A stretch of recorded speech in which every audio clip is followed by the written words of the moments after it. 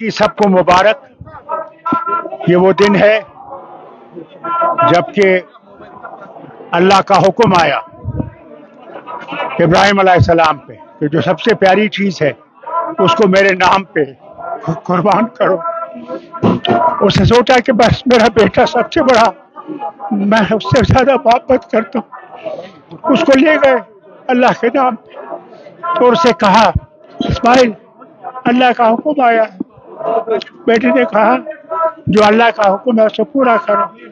और अल्लाह पहुँचे, जहाँ उनको जबा करना था। वहाँ अल्लाह का हुक्म आया कि बस, इब्राहिम, तुम कामयाब हो गए। जाओ, कोई जानवर लाओ। आज वो दिन है। जब अल्लाह के नाम पे हम कुर्बानी देते अल्लाह करे कि हमारी कुर्बानी कबूल करके हमारी मुश्किलों को कम करे। और हम लोगों को अमन से चैन से रहने दे।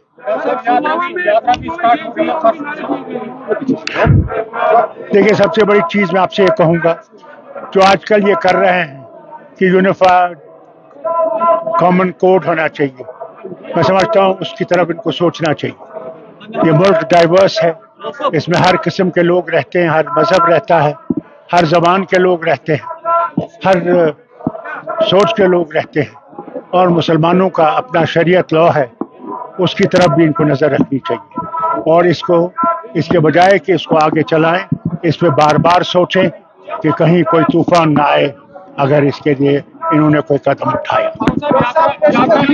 यात्रा को भी मैं मुबारक करता हूँ। कल से शुरू हो जाएगी। अल्लाह करे कि वो कामयाबी से जाए और दुआएँ यहाँ से ले जाए।